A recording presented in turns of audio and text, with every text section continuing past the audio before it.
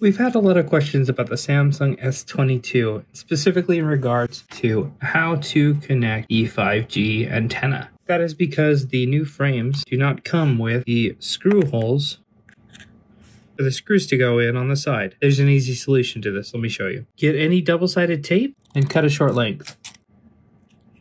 Put it on there, peel off the protector, and push it on in. Now we're going to complete the repair.